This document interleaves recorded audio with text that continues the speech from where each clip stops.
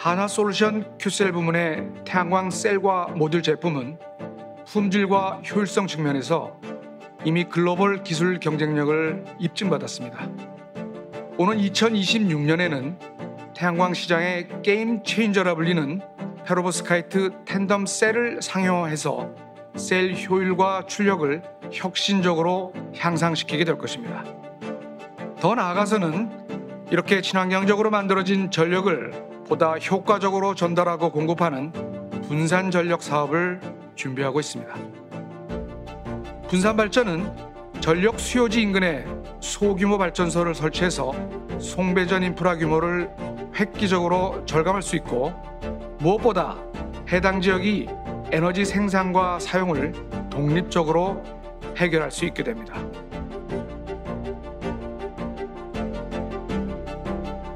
한화솔루션 큐셀 부분은 매년 20% 안팎의 성장이 예상되는 미국을 중심으로 세계 태양광 시장을 주도하고 있습니다.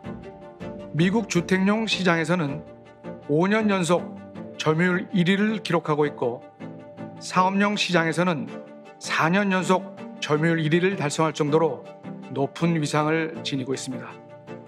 미국뿐만 아니라 유럽에서도 9년 연속 태양광 분야의 top 브랜드를 차지했으며 아시아로의 영향력을 확대하고 있습니다.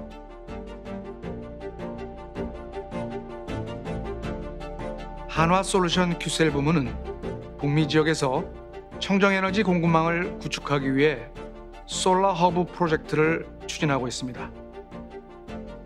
조지아주에 25억 달러를 투자해 태양광 통합 생산 단지를 구축하고 있는데 이는 미국 태양광 산업 역사상 최대 규모입니다. 이로써 한화솔루션은 미국에서 기초 소재인 폴리실리콘부터 완성품인 모듈까지 태양광 value chain의 다섯 단계를 모두 완성하는 최초의 기업이 될 것입니다. 이번 투자로 기대되는 시너지 효과는 최근 마이크로소프트와 서미리치 에너지사와의 파트너십 체결에서 입증된 바 있습니다. 특히 조지아주 공장은 한미 에너지 분야 경제 협력의 상징으로 떠오르고 있습니다.